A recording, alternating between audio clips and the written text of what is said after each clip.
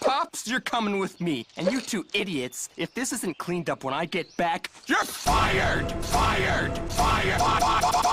You're not getting that chair. But here's what you do. You flip it Pretty's not throwing that chair away, you're playing it with the